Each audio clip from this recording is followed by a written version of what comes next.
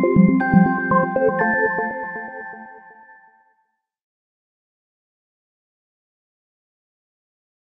hallo, het is Mitchell van Duren hier en ik zit hier weer in een nieuwe eh, video van Convert samen met, Wilco? met Wilco de Krij. En vorige week heb je gezien hoe ik mijn eerste 100 subscribers eh, op mijn e-maillijst krijg. E-maillijst is natuurlijk super belangrijk ja, voor je business eigenlijk. En vandaag stel ik eigenlijk dezelfde vraag aan Wilco hoe hij zijn eerste 100 subscribers eh, ja, op zijn e-maillijst krijgt of kreeg. En uh, ja, Wilco, take it away. Als we gaan kijken zeg maar, naar jouw laatste uh, ja, projecten, dan praat je voornamelijk over Zo Social. En uh, wat was het andere? Videoskin. Um, ja, hoe heb, jij, hoe heb jij die kritieke massa op je e-maillijst gegeven? Wat, wat heb jij gedaan? Vertel. Ja, dat is eigenlijk uh, compleet anders dan wat jij vorige week vertelde. Vorige week, als je nog niet bekeken hebt, zou ik je zeker aanraden om even te kijken. Beschreef je eigenlijk dat jij uh, vanuit een blog veel content produceerde en zodoende mensen naar je site kreeg.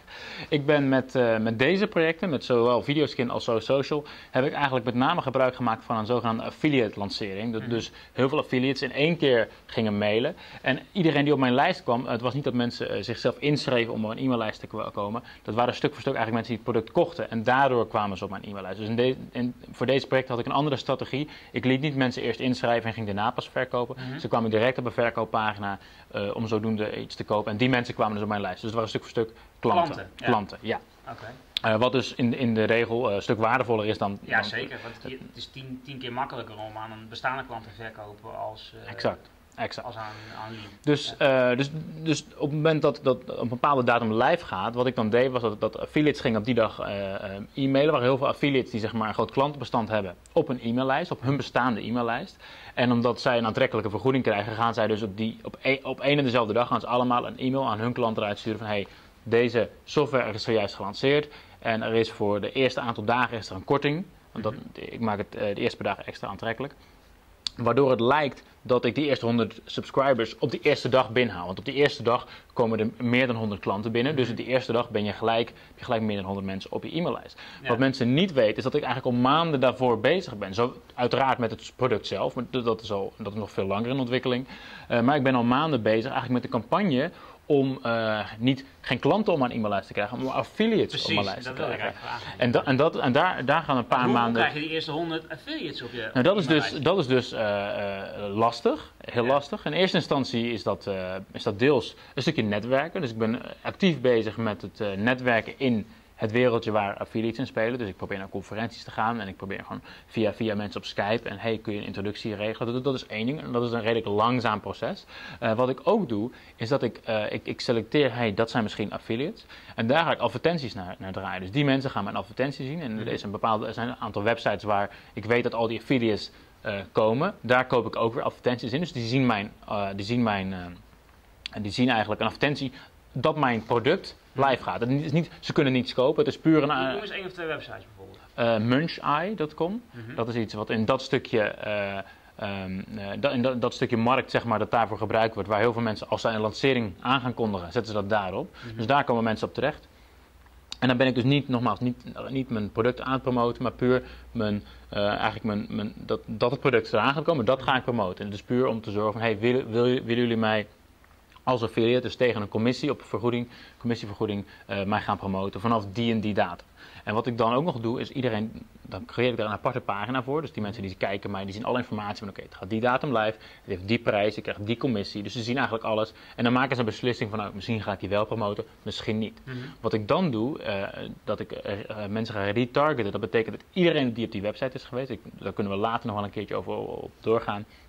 Iedereen die op die website is geweest, die krijgt vanaf dat moment krijgen ze uh, een advertentie te zien, een retargeting advertentie. Hetzelfde ja. als wat Zalando doet, op, bijvoorbeeld als je een keer zijn schoen hebt gekeken en dan blijft die achtervolgen. Ja. Dat deed ik bij die mensen ook. En wat, er, wat, wat, zij dus zagen, een maand lang, of eigenlijk nog langer, continu, hey, Zo Social lanceert op 20 mei. Dat zien ze elke dag weer voorbij komen als ze op Facebook komen. Dus die mensen die, mensen, die weten dat. En uh, ja, zodoende probeer ik een hype te creëren. Probeer ik te creëren dat mensen denken, oké, okay, hey, dit twintigste, weet je, dat wordt, dat wordt groot. Mm -hmm. En, en uh, ja, dan gaan die mensen dus op die, die twintigste, gaan ze dus een e-mail versturen. Omdat ze dus het gevoel hebben van, nou, weet je, dit, dit is een goed product. En dit is uh, waar, ik, waar ik ook wel eens een keer een goede commissie op krijg. En zodoende hebben zij dus ja, gaan zij dat dus promoten aan hun klanten. En uiteindelijk, uiteraard zit er nog veel meer. Weet je, ik, kan daar, ik, kan daar een, ik kan daar een hele dag over vertellen. Maar dat is het eigenlijk heel simp, simpel gewerkt. Dus een paar maanden ben ik bezig om die affiliates warmte, warmte, krijgen. Ja. En, eh, en die gaan dus allemaal in, in één week, waardoor ik dus een speciale aanbieding geef voor iedereen die het in die week koopt. Ook om dus te belonen dat ze het in die eerste week kopen.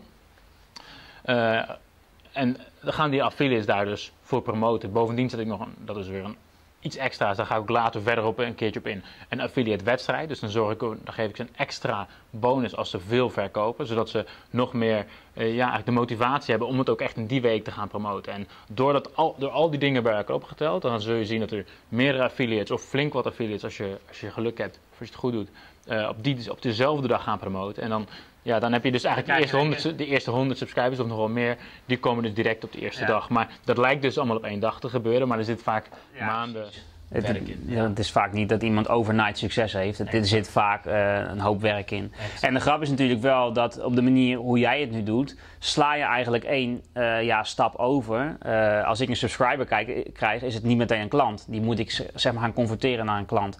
Het andere verhaal is natuurlijk wel dat voor, voor, voor de manier waarop ik mijn subscribers krijg, is het natuurlijk een stuk makkelijker. De eerste subscribers die voor jou tellen zijn eigenlijk de affiliates. En dat is gewoon een, een pijnlijk, eh, moeilijk proces zeg maar, om die op je e-maillijst te krijgen. Ja, en dat is gewoon. zozeer de e-maillijst, maar daar is de relatie nog belangrijker dan dat Ja.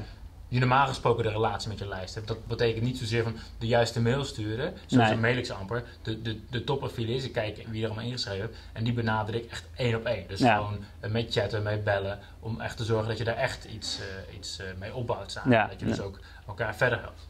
Dus dat is eigenlijk een hele andere insteek. eh, Zeker, maar, maar wel net zo interessant, denk ik. Eh, Ja, ja. Dus eh, ook voor mij en ook voor de kijker. Ik hoop dat jij het ook super interessant vindt eh, ja, om onze eh, ja, brainstorm sessies mee te volgen op deze, op deze video's. Dus laat me weten hieronder, of laat ons weten hieronder, wat je van, de, ja, wat je van deze strategie van eh, Wilco vindt voor zijn eerste 100 subscribers. En eh, zien we graag in de volgende video weer. Tot ziens! Groetjes!